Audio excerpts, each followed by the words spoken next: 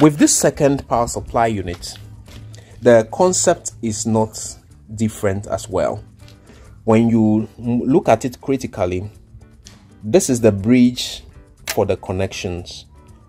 But then the guide to the wiring is also written on it.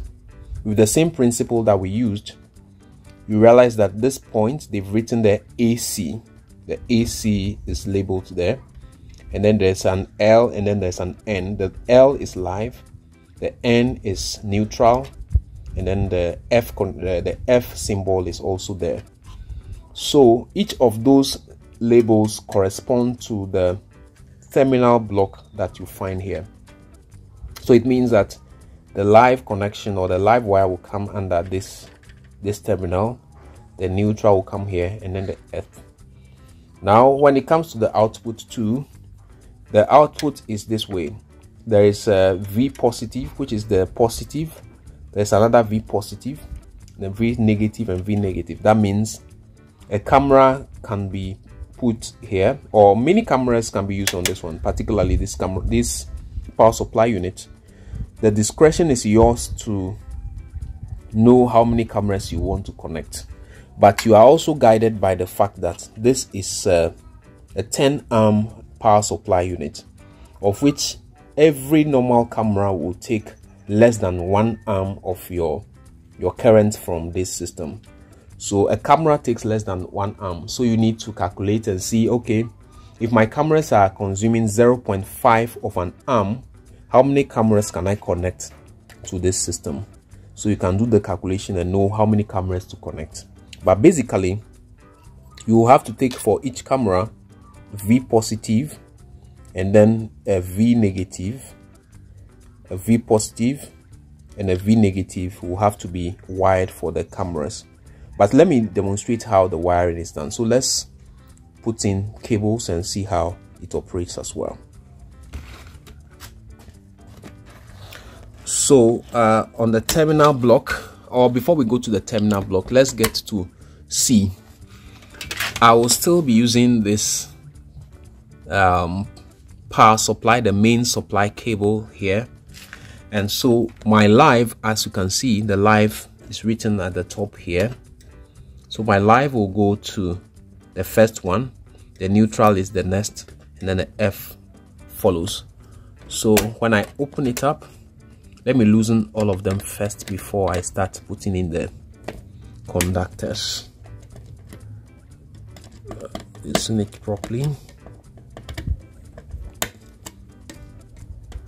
and so in all this you are not left without a guide in terms of what to put anywhere. You would have to just follow the manufacturer's direction to get to know what to put at each of the points in the power supply unit. So it means that the first one which is live according to the direction live will go there first. So I'll put in my live wire the live wire goes in you must always remember to make sure there are no excess bare conductors or conductors that are stripped. They shouldn't be hanging. They should go closely into the power supply unit. Then the neutral will follow here. I'll put it there. The neutral goes. You tighten it also very firmly. Remember to tighten it very firmly when it goes the earth follows according to the guide there. So this is not something i have memorized at all. I have ensured that i follow the manufacturer's guideline. So it's not something i have memorized. I just interpreted the manufacturer's guideline as stated. So my main power supply connection has been connected so that means that when we turn on power it will come on all right but then we haven't fed in any cctv camera in a uh, not uh, yet. We haven't yet fed in cctv cameras. So as directed on it if you want to connect a camera right now we can take a v positive and a v negative to a camera so let's try one. So this cable is something I can plug into a camera. So the positive which is red will go into a V positive and then the blue will also go into a V negative and this can be fed into a camera to power the to power up the camera. So I can just wire it into it okay so let's check the terminals again. This V positive and then V negative. Any one of them can be used.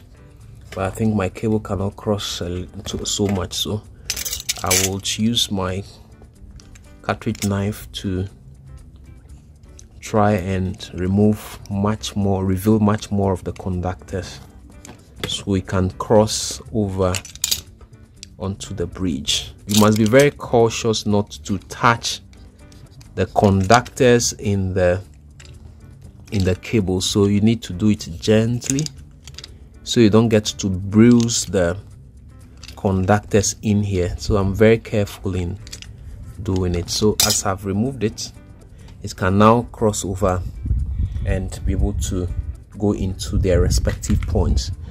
So i'll use um, one of the v positives let me do that first. Let me lose the terminal for the v positive which is the positive power to the camera. I'll tighten it up. And then also there's a v negative here to the third one one two three the third block. When you raise it up you can just put it here can put it under this one. Then you tighten it up. So that means this is something that can go to a camera. This point can go to a camera.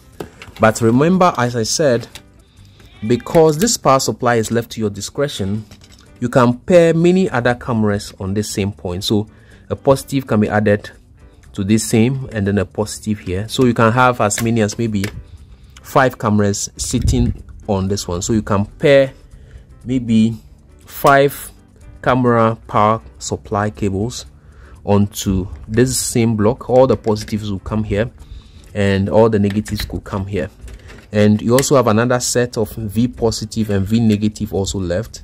So you can utilize this v positive and v negative for another maybe batch of five cameras connected to these two points as well.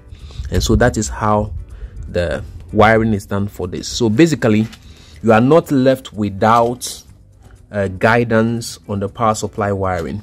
All these connections i did here i just have to follow the directions given by the manufacturer as to what to connect to what point. So that is how you go about it. With that said and done let's test that which we have done or this connection that we have done we'll try and connect the mains AC we'll plug it to a power point and then we'll connect this to a power supply to call this sorry we'll connect this to a camera and see whether the camera comes on or not. So let's do that. And so this can just be plugged into the power socket. So I'll do it on let's now test the connections we have done. So here is a camera. I will put in the power into the camera. The indication that or what tells you that power comes into the camera will be a click from the camera. So please listen attentively for that click from the camera as i plug in the power. So as i plug it in please listen. Yes that click tells you that power has come into the camera or better still let's connect an IP camera and watch what happens in the front of the camera. It will give you flashes from the face of the camera. So please watch. Yes that flash let me do it again. The flashes indicate the presence of power in the camera as well. I'm always delighted to come your way with new videos please if you have any question or comment about this video please drop it in the comment section i'll respond to all of them appropriately And on Sundays, I'll come your way with the viewer comment seg- segment where I'll get to offer lengthier explanations to every question that come on any video across my channel. Thank you so much for watching once again. See you in the next video. Bye bye.